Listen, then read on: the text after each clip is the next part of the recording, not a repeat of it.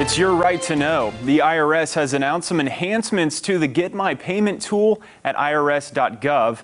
Visit the link on their homepage to find out the status of your stimulus payment and provide bank account information if you need to.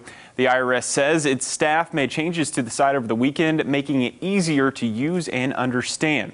The IRS will never text or email you a link. If you get one, it's possibly a scam.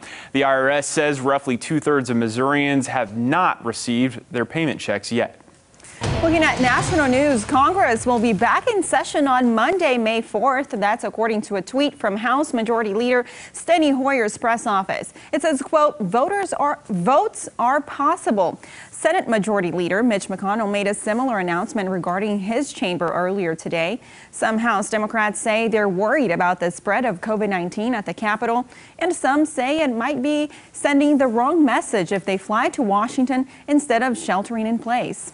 The U.S. Supreme Court also decided that the federal government must pay billions of dollars to Obamacare insurers.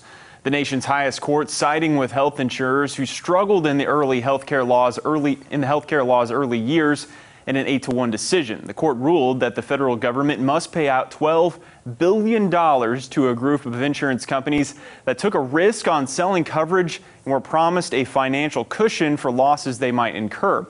Both the Obama and Trump administrations said the government had no obligation to pay. A second Navy warship has been hit by an outbreak of coronavirus while at sea.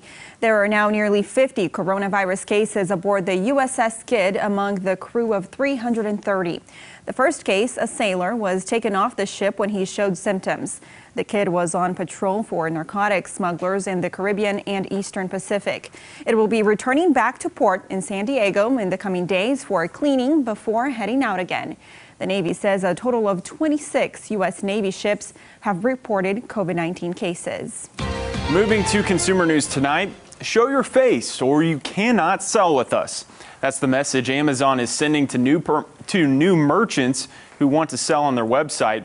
New sellers will be subject to a video call to verify their identity. The plan is meant to counter fraud while in-person meetings are impossible during the coronavirus pandemic. It's Amazon's latest effort to police counterfeits and allegedly unsafe products on its platforms. The release date for Apple's iPhone 12 could be pushed back about a month due to mass production delays. That's according to the Wall Street Journal.